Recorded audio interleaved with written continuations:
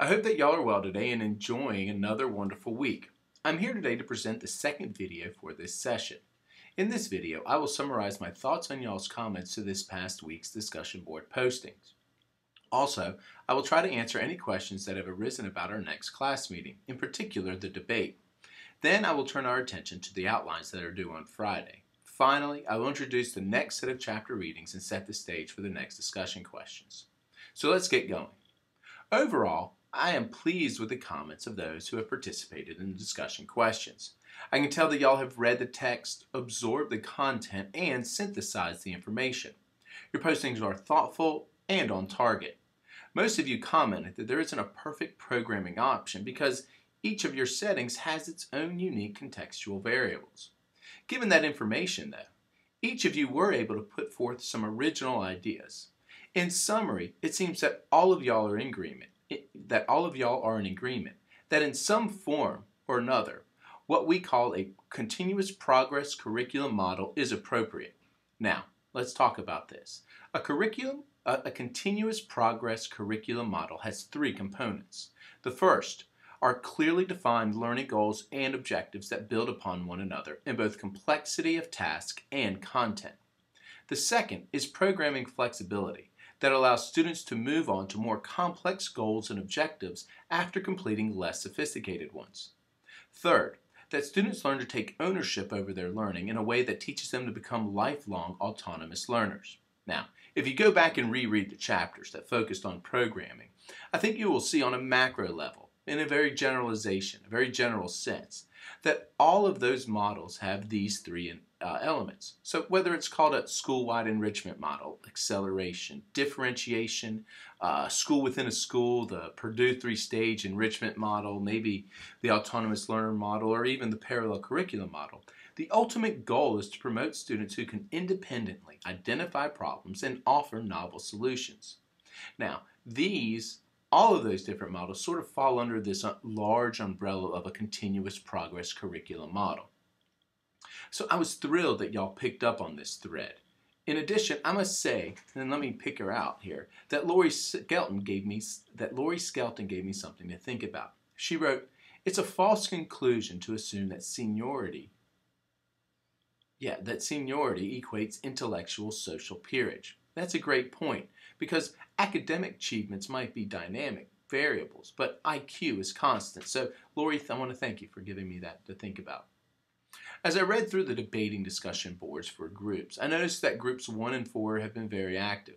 They have shared information and seem to be getting ready for our Friday meeting. Now, that's not to say that the other groups aren't that that's not to say that the other groups are being neglectful.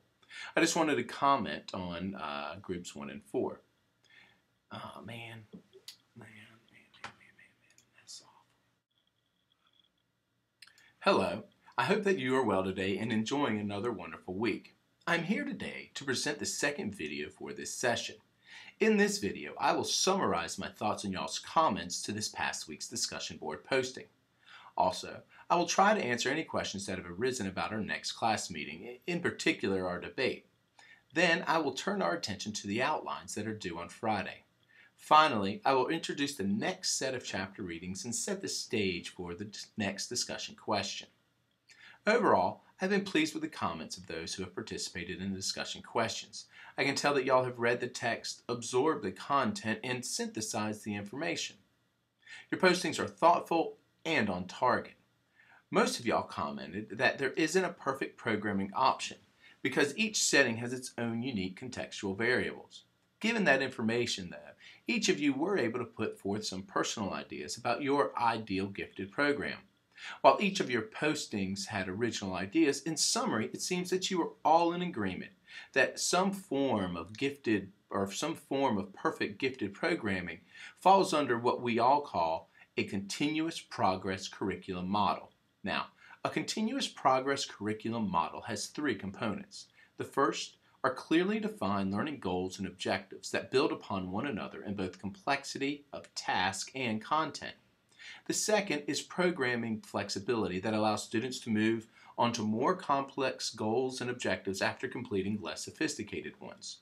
Third, the students third that students learn to take ownership over their learning in a way that teaches them to become lifelong autonomous learners. Now, if you go back and reread the chapters and that focus on programming, I think you will see on a micro level, in a very general sense, that each of these models that we read about all have these three elements. So whether you call it the school-wide enrichment model or acceleration or differentiation or the school uh, within a school, the Purdue three-stage enrichment model, the autonomous learner model, or even the parallel curriculum model, the ultimate goal of all these approaches is to promote students who can independently identify problems and offer novel solutions.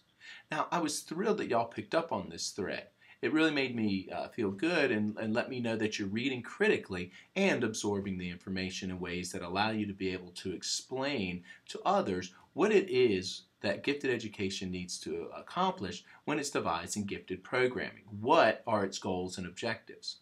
Now, before we move on to the next section, I want to thank Lori Skelton for giving me something to think about in her discussion board posting. She wrote, It's a false conclusion to assume that seniority equates intellectual social peerage. That's a great point, Lori. In fact, what we have to remember is that maybe academic achievement levels are, are dynamic variables, meaning that they can change from uh, one day to the next, one year to the next. IQ, however, is constant. So a second grader with an IQ of 140, as Lori pointed out, would have that same IQ level as a fifth grader. So when we're talking about acceleration, maybe we're not always putting students with their intellectual peers uh, if we remove them from their chronological age peers. Talking about asynchronous development that she mentioned. So I thought that was really good. Thank you, Lori, for uh, bringing that up. As I read through the debating discussion boards uh, for the groups, I noticed that groups 1 and 4 have been active. They shared information and seem to be getting ready for our Friday meeting. Now, this is not to say that the other groups are being neglectful. I, I just wanted to commend groups 1 and 4. The only common question that I've noticed from these groups is about the presentation of the information. Again, you do not have to come to class with a presentation already put together. Just, just make sure that you have read your topic and are prepared to defend your point that either gifted females are more at risk for underachievement or your point that gifted males are more at risk for underachievement. Now, I'm really excited about having an in-class debate. These are my tentative plans for the activity. Uh, first, we're going to get together and we're going to set some ground rules, and we'll do this as a class. Next, uh, I'll allow time for each group to organize their thoughts and prepare for the debate. Then we will have our debate and vote on the winners. And then finally, we'll debrief and move forward from there. So that should kind of give you an idea of what Friday evening is going to look like. Now, let's talk about your paper outlines. A few of you have sent me their have sent me your information to read before next Friday. This is great, or before this Friday. This is great. But do not think it is mandatory. Remember, the outline is not graded. Rather, it simply helps me to see the direction you're headed and it allows me to help you focus your writing.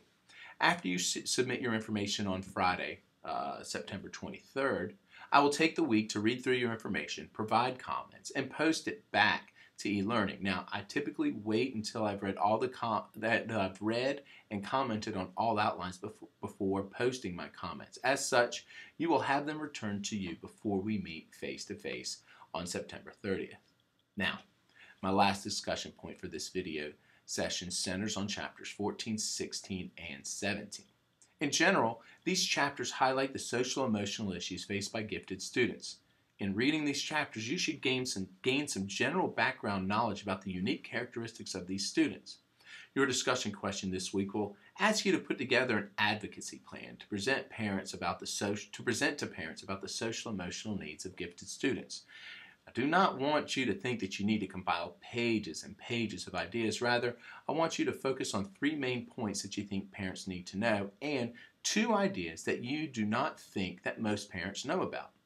So uh, look forward and uh, to that information being posted on the discussion board. Again, I want to thank all of y'all for your efforts thus far. I've appreciated your comments and questions and dedication to this course. As we move forward, do not hesitate to contact me and continue to ask questions as they arise.